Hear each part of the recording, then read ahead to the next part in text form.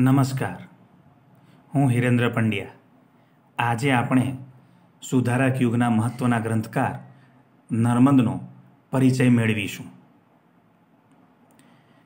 નર્મદનો પરિચય મેળવતા પહેલાં આપણે તેના સમયનો પરિચય મેળવીએ. ભારતમાં વેપાર માટે આવેલી પોર્ટુગીઝ, ડચ, ફ્રેન્ચ અને અંગ્રેજ પ્રજાઓ વચ્ચે પ્રથમ તો વેપાર ઉદ્યોગ ક્ષેત્રે અને પછી રાજકીય ક્ષેત્રે પરસ્પર હરીફાઈ ચાલી. તેમાં અંગ્રેજો પોતાનું વર્ચસ્વ જમાવવામાં સફળ થયા. આ વાત ભારતના ઇતિહાસની ખૂબ મહત્ત્વની ઘટના છે. એ સમયના ગુજરાતની વાત કરીએ તો ઈસવીસન સત્તરસો ચોત્રીસમાં દામાજીરાવ ગાયકવાડે વડોદરા પર વિજય મેળવ્યો. ઈસવીસન સત્તરસો પંચાવનમાં મરાઠાઓએ અમદાવાદ જીતી લીધું. પરંતુ ગુજરાતના કેટલાક પ્રદેશો હજુ મરાઠા સામ્રાજ્યનો હિસ્સો બન્યા નહોતા, જેમ કે સૌરાષ્ટ્ર. પરિણામે સૌરાષ્ટ્રના નાના ઠાકોરો અને પ્રજા સાથે ચોથ ઉઘરાવવાના મુદ્દે મરાઠા લશ્કરને અવારનવાર સંઘર્ષ થતો. આ સંઘર્ષથી પ્રજાને પારાવાર નુકસાન થતું. પ્રજાનું કોઈ ધણીધોરી ન હોય તેવી તેમની હાલત થતી. તેથી ઈસવીસન અઢારસો ત્રણમાં મોરબીના ઠાકોર, જોડિયાના દરબાર અને બીજા શાસકોએ અંગ્રેજ અધિકારી કર્નલ વોકરને સૌરાષ્ટ્રની આ પરિસ્થિતિ સમજાવી. ચોથની રકમ માટે થતા સંઘર્ષમાં બ્રિટિશ હકુમત જામીન બની. પ્રજાની હેરાનગતિ અટકી. નાના ઠાકોરોને આંતરિક સ્વતંત્રતા પણ મળી, પરંતુ ગુજરાતમાં બ્રિટિશ હકુમતનો પગ પેસારો થઈ ગયો. ઈસવીસન અઢારસો સત્તર, અઢારસો અઢારમાં મુંબઈ રાજ્યના ગવર્નર એલ્ફિન્સ્ટન વડોદરા આવે છે.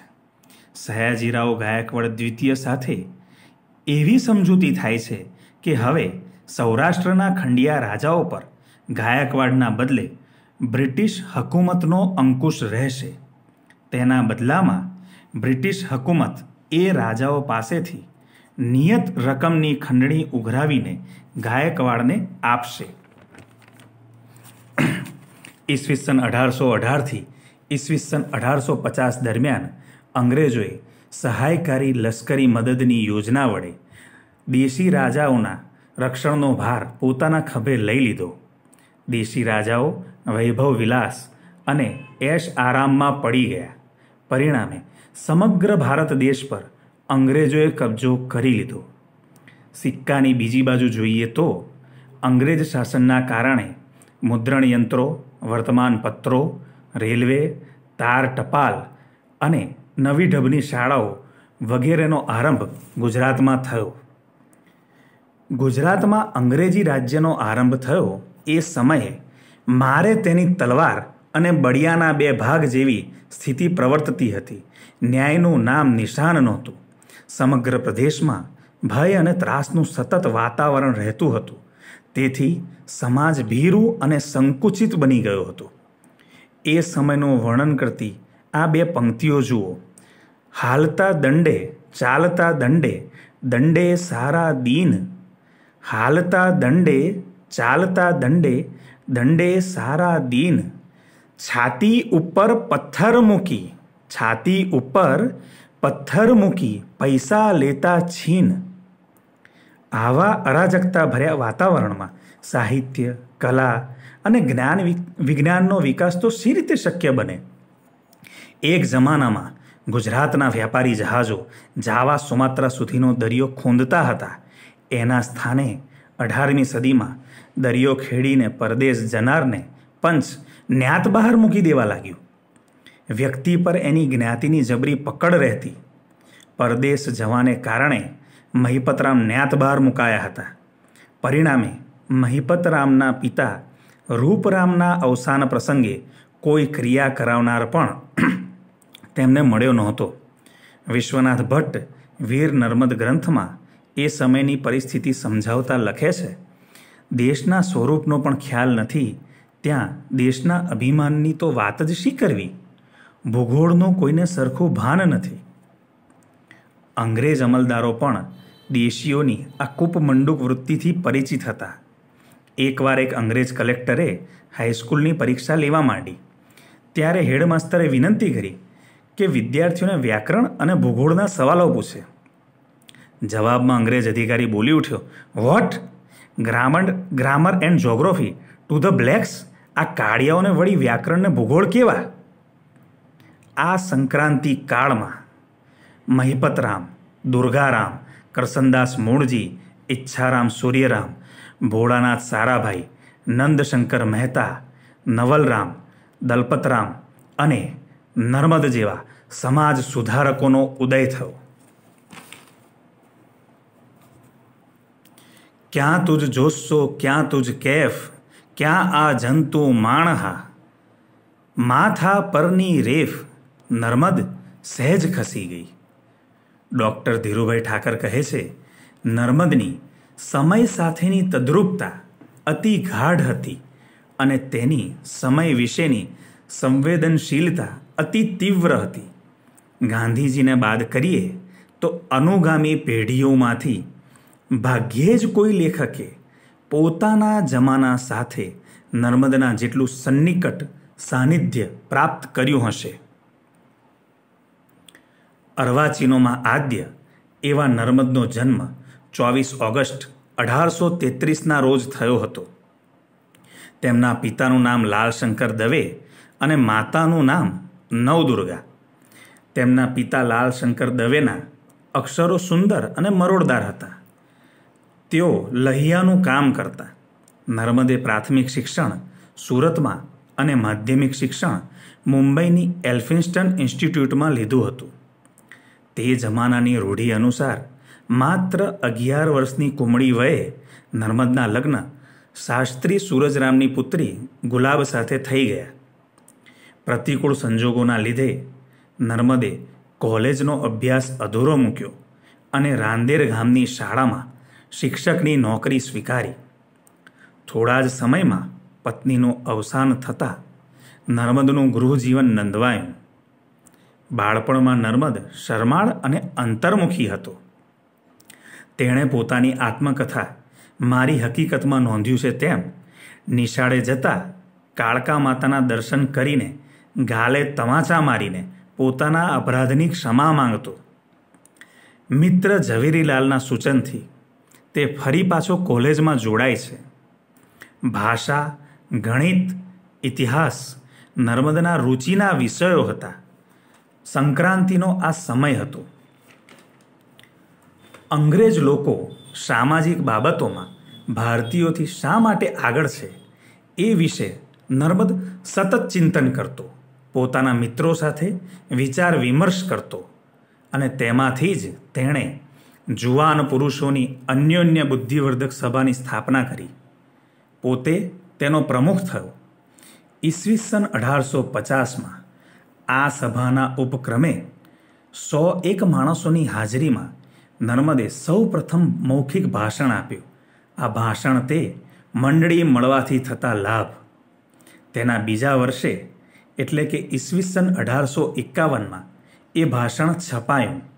નર્મદનું આ પ્રથમ લખાણ તેના પ્રગતિવાદી માણસને રજૂ કરે છે.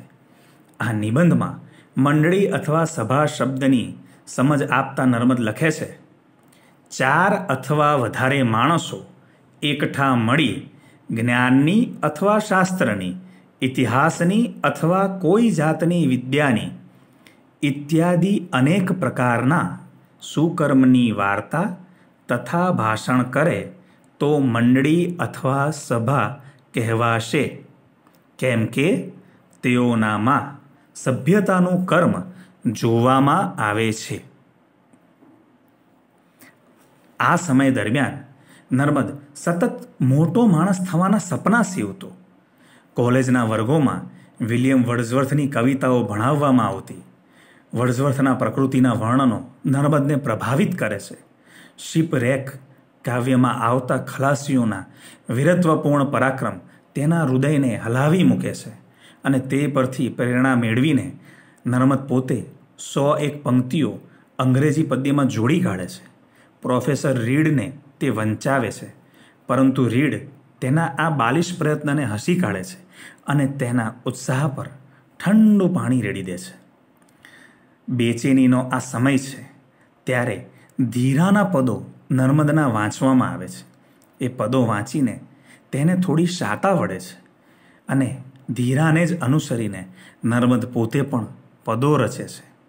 બેચેન નર્મદને પદો રચ્યા પછી અપૂર્વ શાંતિ અને આનંદનો અનુભવ થાય છે. તે પરથી તે પોતે કવિ બનવાનો નિર્ણય કરે છે. તે લખે છે, ભણવું, કમાવું, બૈરી કરવી એ સૌ આનંદને માટે છે ને મને જ્યારે પદો બનાવવાથી આનંદ થાય છે, ત્યારે હું તો એ કામ જ કરીશ. શેર જુવાર તો મળી રહેશે. પોતે કવિ થવા સર્જાયેલો છે, એવી પ્રતીતિ નર્મદને થાય છે. પોતાની ત્રેવીસમી વર્ષગાંઠના દિવસથી તે રીતસર કવિતા લેખનનો આરંભ કરે છે. બુદ્ધિવર્ધક સભામાં પાછો જોડાઈ જાય છે. ત્યાં ભાષણો આપવાના શરૂ કરે છે. જાહેરમાં કવિતા વાંચન કરે છે. શ્રોતાઓ પણ આ નવા પ્રકારની કવિતા સાંભળીને તેના ઉપર પ્રસન્ન થાય છે. મધ્યકાળમાં કવિતા નહોતી એવું નહીં, પરંતુ મધ્યકાળના મોટાભાગના કવિઓ પરલોકની વાત કરતા હતા. જ્યારે આ નવો કવિ આ લોકની વાત કરે છે. તેથી તે સમયનો શ્રોતા વર્ગ નર્મદથી પ્રભાવિત થાય છે. પરંતુ નર્મદ પોતે કવિતાના શાસ્ત્રથી અજાણ છે. એ વાતથી ઊંડો ખટકો અનુભવે છે અને પરિણામે તે છંદશાસ્ત્રનો અભ્યાસ શરૂ કરે છે. તેમાં પિતા લાલશંકર તરફથી પ્રોત્સાહન મળે છે. ઈસવીસન અઢારસો સત્તાવનના જાન્યુઆરી માસમાં બુદ્ધિપ્રકાશમાં દલપતરામે વિવિધ છંદોના નમૂનાઓ આપતી કવિતાઓ લખેલી તે બતાવીને લાલશંકર નર્મદને કહે છે, હું તો તારી હોશિયારી ક્યારે જાણું કે પિંગળ બનાવે તારે? પિતાની આ એક ટકોરથી નર્મદ પિંગળ વિશે પુસ્તક લખે છે અને પિતાને જ અર્પણ કરે છે. પિતા પણ આ પુસ્તકની સ્વચ્છ નકલ કરી આપે છે. નર્મદના આ પિંગળ વિષયક ગ્રંથને મહિપતરામ અને દલપતરામ આવકારે છે. તેનાથી પ્રોત્સાહન પામીને નર્મદ સંસ્કૃતના પંડિતો પાસે અલંકાર અને રસનો અભ્યાસ કરે છે. તેની સાથે જ નર્મ કવિતાના બે અંક પણ પ્રગટ થાય છે. પરંતુ મનમાંથી મહાન કવિ બનવાનો પેલો ધ્યેય હજુ ખસતો નથી અને ત્રેવીસ નવેમ્બર અઢારસો અઠ્ઠાવનના રોજ સરસ્વતીનો આ અનન્ય ભક્ત નોકરીમાંથી રાજીનામું આપી દે છે. કલમની સામે માથું નમાવીને ગદગદ કંઠે કહે છે, હવે તારે ખોળે છાઉં.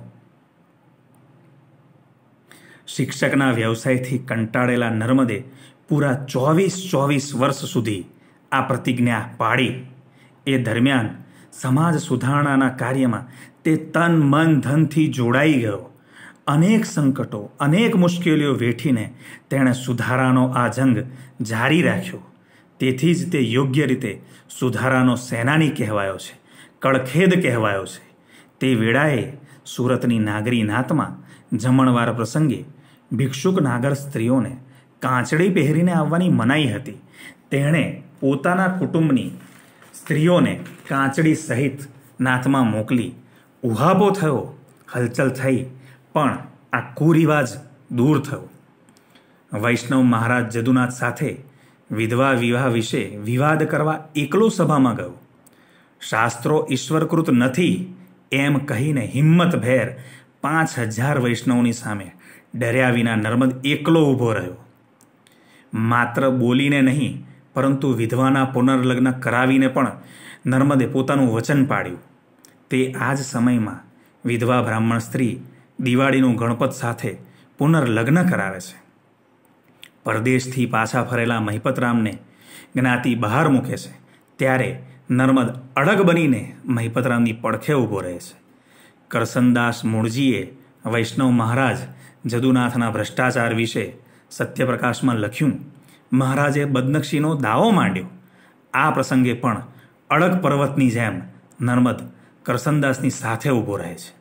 ઈસવીસન અઢારસો ચોસઠમાં નર્મદે દાંડીઓ પત્ર શરૂ કર્યું. દાંડીઓએ વિવિધ ક્ષેત્રોમાં વ્યાપેલા દંભ, દુરાચાર અને ભ્રષ્ટાચારને ખુલ્લા પાડવાનું શરૂ કર્યું. ઈસવીસન અઢારસો છાસઠમાં નર્મદે મારી હકીકત નામથી ગુજરાતીની સૌ પ્રથમ આત્મકથા પ્રગટ કરી, જેમાં નર્મદના જીવનના તેત્રીસ વર્ષના પ્રસંગોનું વર્ણન છે. દરેક પ્રકરણને તેણે વિરામ એવું નામ આપ્યું છે. આ જ વર્ષે નાયિકા વિષય પ્રવેશ નામનો ગ્રંથ પત્ની ડાહી ગૌરીને અર્પણ કરે છે. ઈસવીસન અઢારસો સડસઠમાં અગિયાર વર્ષની કવિતાઓનું નર્મ કવિતા નામે પ્રકાશન કરે છે. ઈસવીસન અઢારસો ઓગણસિત્તેરમાં સ્વજ્ઞાતિની વિધવા નર્મદા ગૌરી સાથે બીજા લગ્ન કરે છે. અનેક મુશ્કેલીઓ અને અનેક અગવડો વચ્ચે પણ રામાયણ, મહાભારત અને ઇલિયડના સાર આપતા ગ્રંથોનું પ્રકાશન કરે છે. પરંતુ ક્રમશઃ નર્મદના વિચારોમાં પરિવર્તન આવે છે. સુધારક સાથીઓ વિશેનો ભ્રમ ભાંગે છે. નર્મદના બદલાયેલા વિચારોનું પ્રતિબિંબ ધર્મ વિચાર પુસ્તકમાં ઝીલાયું છે. સત્યપ્રેમી નર્મદ પોતે જે સુધારક વિચારોનો વીસ વીસ વર્ષથી ઉપદેશ આપતો હતો, તેનો જ હિંમતભેર વિરોધ કરે છે. અને લોકોને સ્વધર્મ ભણી વળવાનું કહે છે. દ્રૌપદી દર્શન, શ્રી રામ જાનકી દર્શન જેવા નાટકો લખે છે. આ નાટકો ભજવાય પણ છે. અનેક આર્થિક મુશ્કેલીઓના લીધે ઈસવીસન અઢારસો બ્યાસીમાં નર્મદ ફરીવાર નોકરી સ્વીકારે છે. વ્રત તૂટે છે. સાથે કવિ પણ તૂટે છે. ત્યાર પછી નર્મદ ક્યારેય હસતા જોવા મળતા નથી. છવ્વીસ ફેબ્રુઆરી અઢારસો છ્યાસીના રોજ સુધારાનો આ સેનાની દેહ ત્યાગ કરે છે. નર્મદની સાહિત્ય સેવાને બિરદાવતા વિજયરાય વૈદ્ય લખે છે, સાહિત્ય ક્ષેત્રમાં એણે અનેક નવા પ્રસ્થાન કર્યા છે. એ નવા પ્રસ્થાન એટલે આપણી ભાષામાં સરળ ને રૂઢ, મરમાડ ને પ્રૌઢ ગદ્યનો તેણે કરેલો આરંભ આપણી કવિતામાં પ્રકૃતિ અને પ્રેમના વીરત્વ અને જન્મભૂમિ વાત્સલ્યના ઉર્મી કાવ્ય આદિ પ્રકારોની તેણે પાડેલી પહેલ વહેલી પગલીઓ. જીવન કૃતિ તરીકે કોષ જેવી રસહીન વસ્તુ પણ કાવ્ય હોઈ શકે એમ સિદ્ધ કરતા આપણા પહેલા શબ્દકોશની અદ્ભુત રસિક રચના પ્રવૃત્તિ તથા એનું પ્રકાશન. નર્મદ, આ વિવિધ મંગલ આરંભ વડે આપણા સાહિત્યમાં જેટલો મહાન છે, તેટલો બીજા કશા વડે નથી. વીર સત્યને રસિક ટેકીપણું, વીર સત્યને રસિક ટેકીપણું અરી પણ ઘાશે દિલથી, એવું કહેનાર નર્મદની સાહિત્ય સેવાથી